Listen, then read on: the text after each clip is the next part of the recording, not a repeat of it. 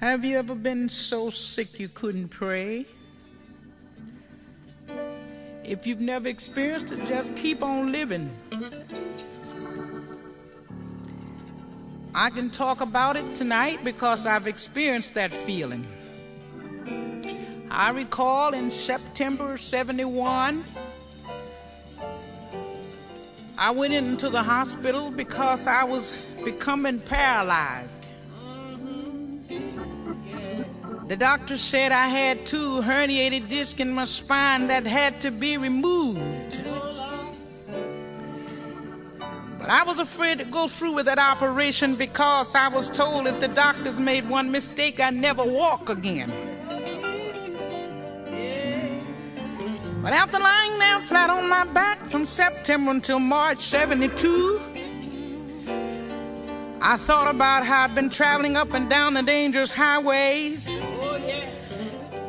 singing and telling men and women that God is able. And here I'm lying in the hospital, afraid to go into that operating room. After I had a talk with myself, then I had a talk with Dr. Jesus. I told him I would go in there if he would go with me. Speak to the doctors and tell the doctors what to do.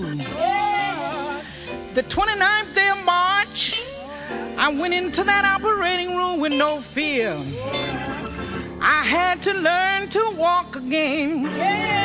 I had to learn to use my hands again. But the night of this has thank God. I can go anywhere I want to go. I can sit down to the piano and sing and play again. But so many nights while lying there in that hospital, my body was racked with pain. I was so sick I couldn't pray. The only thing I could do was just look up toward heaven and utter these words.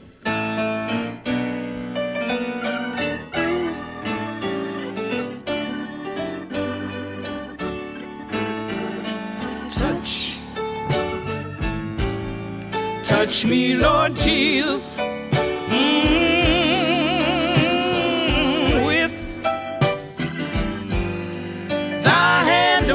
Mercy.